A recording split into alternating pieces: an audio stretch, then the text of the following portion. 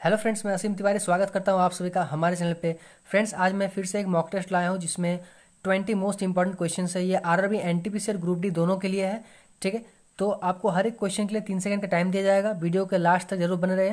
Video and होने के बाद आपको अपना स्कोर काउंट करके कमेंट में ज़रूर शेयर करना है, ठीक है फ्रेंड्स अगर आप चैनल पर नया है, चैनल को सब्सक्राइब करके बेल आइकन ज़रूर प्रेस कर ले, ताकि आने वाले वीडियोस का नोटिफिकेशन आपको मिल सके। वीडियो अगर पसंद आए तो वीडियो को लाइक और शेयर ज़रूर कर दीजिएगा, ठीक है? नेक्स्ट टाइम हम लोग क्या करेंगे?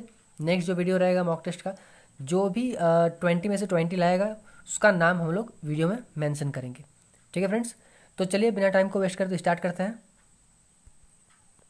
फ़र्स्ट क्वेश्चन है निम्नलिखित में से किस देश की सीमा चीन से लगती है?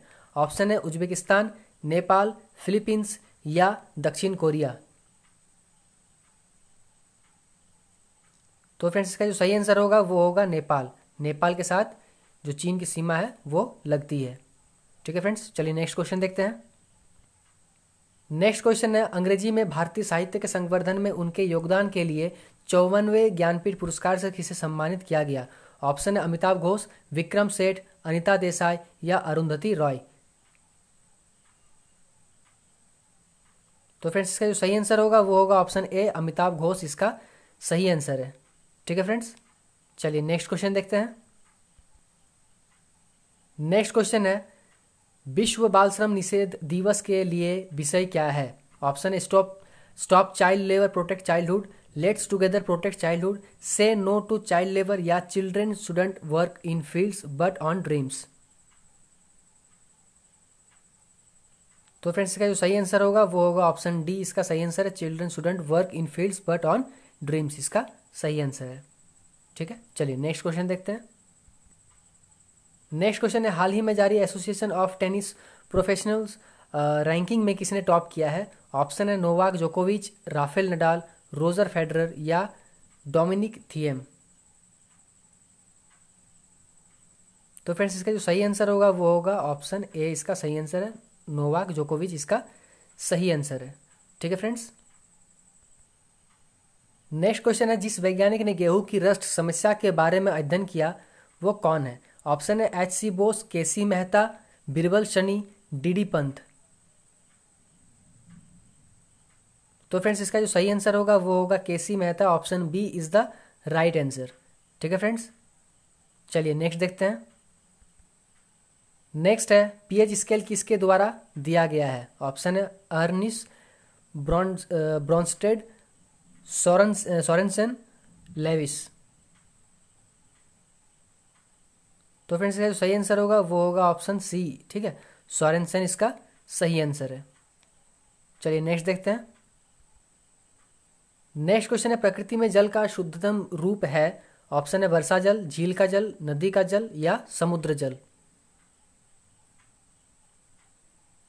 तो फ्रेंड्स इसका जो सही आंसर होगा, वो होगा ऑप्शन ए वर्षा का जो जल है, वो जल का शुद्धतम रूप है। ठीक है फ्रेंड्स चलिए नेक्स्ट क्वेश्चन देखते हैं। नेक्स्ट क्वेश्चन है, महासागरों की गहराई की गणना के लिए जहाज़ों में प्रयुक्त विशेष तकनीक है। ऑप्शन है लेजर सोनार ध्वनि बूम जिसको सोनिक बूम कहते हैं, प्रतिध्वनि। तो फ्रेंड्स इसका जो सही आंसर होगा, वो होगा ऑप्शन बी सोनार इसका सही आंसर है। ठीक है? चलिए नेक्स्ट देखते हैं। नेक्स्ट क्वेश्चन है, प्रकाशमान तीव्रता की एसआई इकाई क्या है? ल्यूमिनस इंटेंसिटी का। ऑप्शन है लुमेन, लक्स, कैंडेला या वॉट। तो फ्रेंड्स, इसका जो सही आंसर होगा, वो होगा ऑप्शन सी, कैंडेला। इसका सही आंसर है। ठीक है फ्रेंड्स? चलिए अब नेक्स्ट क्वेश्चन देखते हैं। नेक्स्ट क्वेश्चन है, निम्नलिखित में से कौन एक जड़ नहीं है? ऑप्शन है आलू, गाजर, शकरकंद या मूली। तो फ्रेंड्स इसका जो सही आंसर होगा, वो होगा ऑप्शन ए आलू जो है, वो एक जड़ नहीं है, वो एक तना है। बाकी सब क्या? जड़ है। ठीक है? याद रखिएगा, ये इंपॉर्टेंट है, इससे क्वेश्चन पूछे जाते हैं। चलिए नेक्स्ट देखते हैं। नेक्स्ट क्वेश्चन है, मानव शरीर का साधारण तापमान क्या है? Thirty seven degree Celsius thirty seven degree Fahrenheit one hundred four degree Fahrenheit या thirty six point eight degree Celsius तो फ्रेंड्स इसका जो सही आंसर होगा, वो होगा ऑप्शन ए ठीक है? ऑप्शन ए इसका सही आंसर है। चलिए नेक्स्ट देखते हैं। नेक्स्ट है, जब किसी वस्तु को गर्म किया जाता है तो उस वस्तु के अणु जो होते हैं, वो क्या होते हैं? तेज़ी से आगे बढ़ने लगते हैं, ऊर्जा कम होती है, भारी हो जाते हैं या हल्के हो जाते हैं। तो फ्रेंड्स इसका जो सही आंसर होगा, वो होगा ऑप्शन ए तेज़ी से आगे बढ़ने लगते हैं। इसका एग्जांपल हम लोग ले सकते हैं, अगरबत्ती जलाते हैं, उसका जो स्मेल रहता है, वो फैल जाता है। फिर जो खाना बनता है गर्मा गर्म जो खाना बनता है, उसका स्मेल चारों तरफ़ फैल जाता है। तो उसका ये एग्ज़ाम्पल हो सकता है। ठीक है, चलिए नेक्स्ट क्वेश्चन देखते हैं। नेक्स्ट क्वेश्चन है आधुनिक आवर्त कानून, या आवर्त सारणी जिसको बोल सकते हैं। किसके द्वारा दिया गया था? ऑप्शन है Moseley Mendeleev Lothar Meyer Lavoisier तो फ्रेंड्स इसका जो सही आंसर होगा, वो होगा ऑप्शन ए ठीक है? आधुनिक आवर्त सारणी जो है, उसके जनक भी कहा जाता है मोसले को। ठीक है फ्रेंड्स चलिए अब नेक्स्ट क्वेश्चन देखते हैं।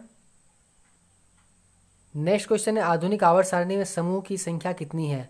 ऑप्शन है फिफ्टीन सिक्सटीन सेवनटीन या एटीन तो फ्रेंड्स इसका जो सही आंसर होगा, वो होगा ऑप्शन डी एटीन इसका सही आंसर है। ठीक है? चलिए अब नेक्स्ट क्वेश्चन देखते हैं। नेक्स्ट क्वेश्चन है, निम्न में से कौन सा विटामिन रक्त के जमावट के लिए आवश्यक है? ऑप्शन है vitamin A vitamin B twelve, vitamin K या विटामिन डी। तो फ्रेंड्स, इसका जो सही आंसर होगा, वो होगा option C, vitamin K. Vitamin K का केमिकल नाम क्या है? Phylloquinone. K for queen sorry K for king और फिलोक्विनॉन में क्वीन है तो उसको आप याद रख सकते हैं कि के फॉर किंग और फिलोक्विनॉन। ठीक है? चलिए नेक्स्ट क्वेश्चन देखते हैं। नेक्स्ट क्वेश्चन है, मजूली दुनिया का सबसे बड़ा नदी द्वीप। डैश राज्य में स्थित है। ऑप्शन है अरुणाचल प्रदेश, आसाम, त्रिपुरा या मिजोरम। तो फ्रेंड्स, इसका जो सही आंसर होगा, वो होगा आसाम, जो है इसका सही answer, option B is the right answer. ठीक है? चलिए नेक्स्ट देखते हैं। नेक्स्ट क्वेश्चन है, कौन सी धातु पृथ्वी की परत में सबसे प्रचुर मात्रा में मिलती है? ऑप्शन है कैल्शियम, एल्यूमिनियम, आयरन या मैग्नीशियम। तो फ्रेंड्स इसका जो सही आंसर होगा, वो होगा aluminium option B is the right answer ठीक है फ्रेंड्स चलिए नेक्स्ट देखते हैं. नेक्स्ट क्वेश्चन है राम प्रसाद बिस्मिल का नाम किससे संबंधित है? कानपुर षड्यंत्र केस, अलीपुर षड्यंत्र केस, काकोरी षड्यंत्र केस या मेरठ षड्यंत्र केस? तो फ्रेंड्स इसका जो सही आंसर होगा, वो होगा ऑप्शन सी काकोरी षड्यंत्र केस से कौन संबंधित है? राम प्रसाद बिस्मिल। ठीक चलिए नेक्स्ट देखते हैं। नेक्स्ट क्वेश्चन है, ऋग्वेदिक काल के दौरान निष्का एक आभूषण था, जो कहाँ पहना जाता था? मतलब बॉडी किस पार्ट में? ऑप्शन है कान, गर्दन, बाजू या कलाई। तो फ्रेंड्स का जो सही आंसर होगा, वो होगा गर्दन। ठीक है? Option B is the right answer चलिए नेक्स्ट एंड लास्ट क्वेश्चन देखते हैं, क्या है? लास्ट क्वेश्चन है, संविधान में व्यक्त सामाजिक न्याय का उद्देश्य कहाँ है? ऑप्शन अनुच्छेद चौदह, अनुच्छेद सोलह, अनुच्छेद पंद्रह या प्रस्तावना। तो फ्रेंड्स का जो सही आंसर होगा, वो होगा ऑप्शन डी ठीक है? Option D is the right answer तो फ्रेंड्स ये थे कुछ twenty important question R R B N T P C और ग्रुप डी के लिए। उम्मीद करता हूँ आपने अच्छा स्कोर किया होगा। ठीक है? आप अपना स्कोर कमेंट में ज़रूर शेयर करें। फ्रेंड्स वीडियो को लाइक और शेयर ज़रूर कर दें। चैनल पर नया चैनल को सब्सक्राइब करके बेल आइकन को ज़रूर प्रेस कर दें। मिलते हैं नेक्स्ट वीडियो में एक नए मॉक टेस्ट के साथ, एक नए टॉपिक के साथ। तब तक के लिए बाय एंड टेक केयर